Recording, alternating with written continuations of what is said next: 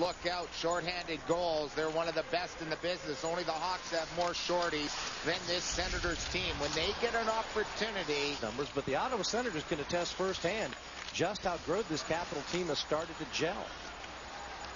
With Alfredsson in the box and a big hit from Ovechkin. And that was closed off nicely on the Capitals D. And Alex Ovechkin roars back in. Ovechkin bounces off a check. Backhand and a save. But did a lot of it himself as the Caps put 11 shots against him. Yeah. And newly quaffed Alex Ovechkin. Well, he has the money now to afford a nice haircut. There he is in the pregame warm-up, flying around.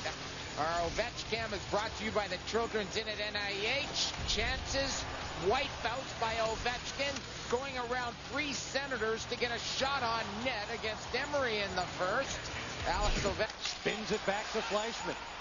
To Brooks Laich, a shot and a big kick-out save. Rebound, they star! Alex Ovechkin, number 34 of the year, has given the Caps the 3-2 lead.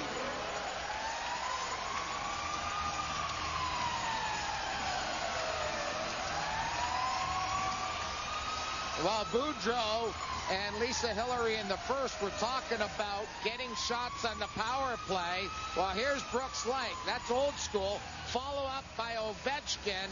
And Emery stays on his knees after this goal. Can't figure out how it went through his body. Right here.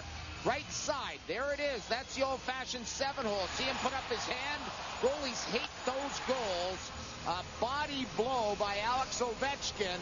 And Alex Ovechkin gives the Caps the...